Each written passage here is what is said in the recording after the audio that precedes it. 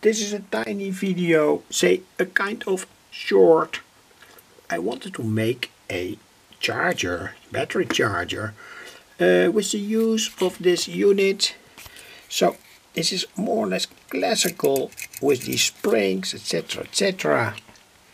But I found, had not expected that. But of course, when you know something about, say, circuits in the 3 volt up to approximately 6 volt or 9 volt range, there can be a very, very bad connection, even when you don't see it.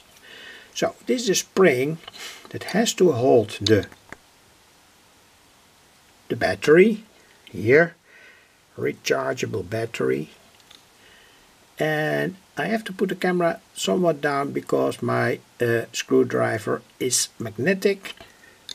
So, uh, and when I measured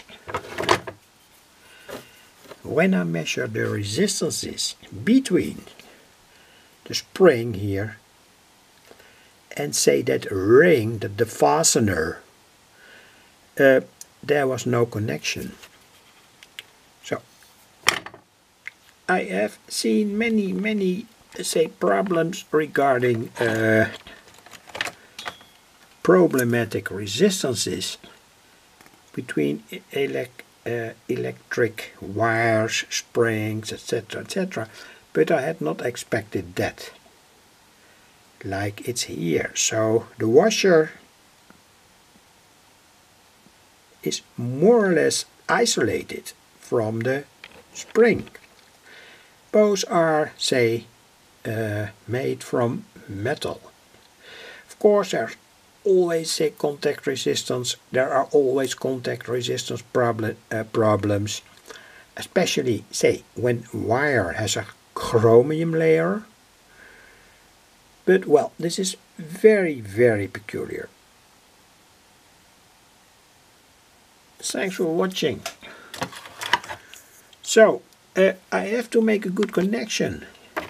Say, scrape it up, solder it, etc.